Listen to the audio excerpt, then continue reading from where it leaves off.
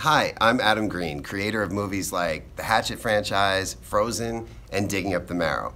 Over the past few months, I have had the distinct pleasure of getting to work with the creators of Friday the 13th, the video game. Now, if you're anything like me, one of your favorite characters in the series, besides Jason Voorhees, is Tommy Jarvis. And I've always wondered what happened to Tommy Jarvis, like in between parts four and five, or, or after part six. Well, I got to answer those questions by writing a narrative that you get to experience through collectible tapes that can now be found in Friday the 13th, the video game. So without any further ado, I present to you an excerpt of the Jarvis tapes.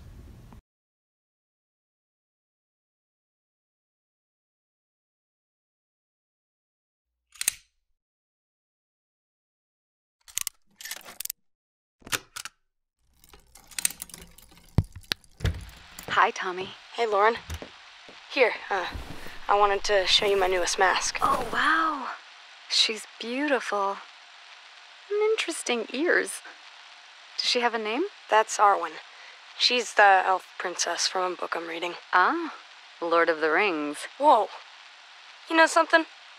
You're pretty rad for an older lady. I'm going to choose to take that as a compliment, young man. so, with Trish leaving for college this fall, she and I have been speaking about the next steps for your treatment. I'm sick of treatment. Aren't I done yet? Tommy, it's only been a year since everything happened. We have a long way to go. And with how things have been lately, we actually need to step your therapy up a few notches. Just 'cause of one stupid fight? Eleven fights, Tommy. But I have wonderful news. I've spoken to my associates at that special hospital I told you about, and they've accepted you. They have an incredible staff that's perfect for this next, more aggressive phase of your treatment. Plus, you'll get to be with other kids like you. You mean crazy? You're not crazy, Tommy. You've just been through a major trauma.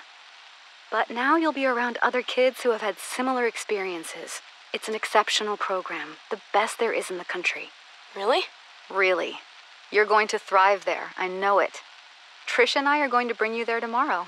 Can Gordon come with me? It's a hospital, Tommy. You know the rules about pets. Oh, man. Can I bring my masks? Absolutely. Now, start packing, mister.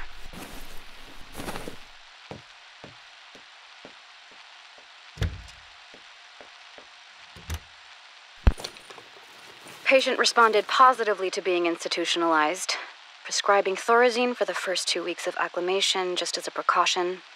Dr. Neil Gordon will take over as Jarvis's primary physician once admitted at Westin Psychiatric Hospital in Springwood.